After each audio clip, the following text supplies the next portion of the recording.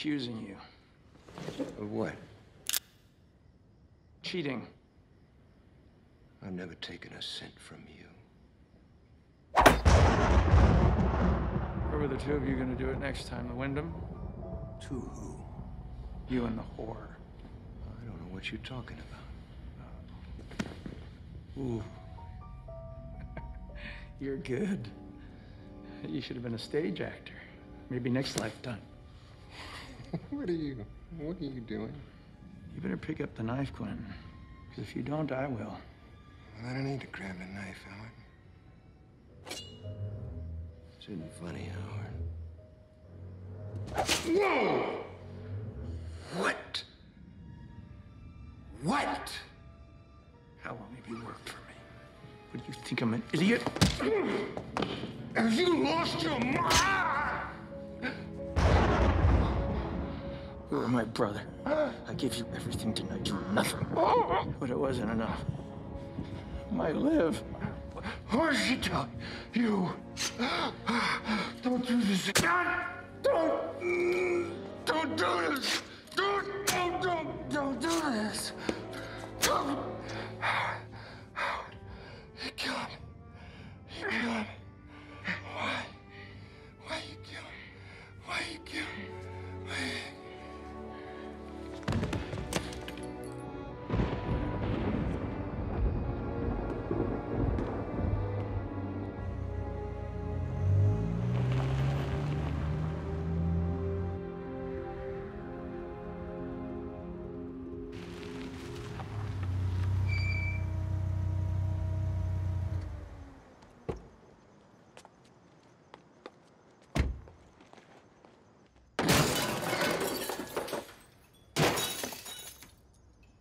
What the hell are you doing?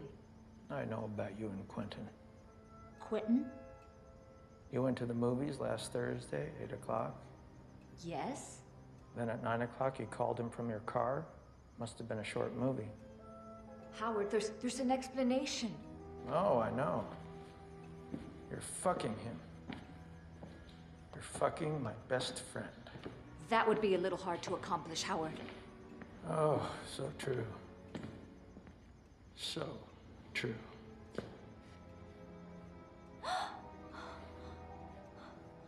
Howard, You should really learn to pay your parking tickets.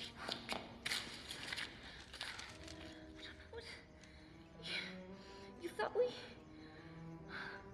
Howard, Quentin was gay. You'd say anything. I don't know what happened.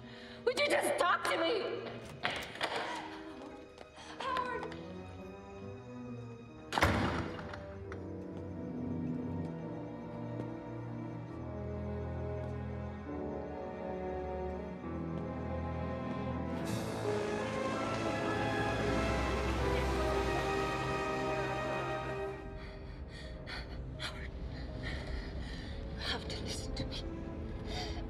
Howard.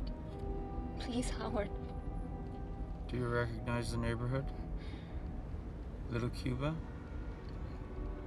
Just think, first time I saw you was only three blocks from here. Look at me, Howard. Of course, then, neighborhood was so much more colorful. Look at me. Howard, please. Please, Howard. Now it's just for horrors. You'll fit right in.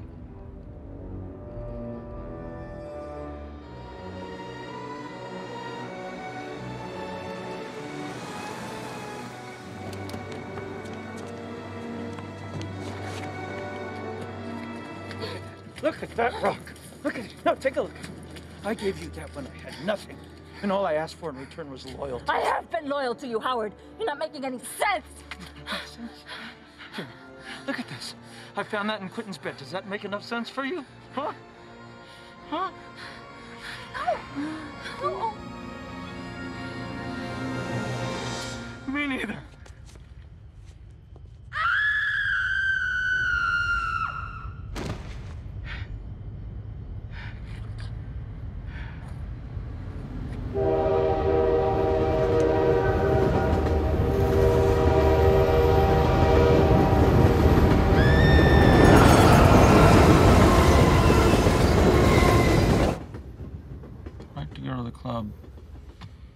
Need a martini.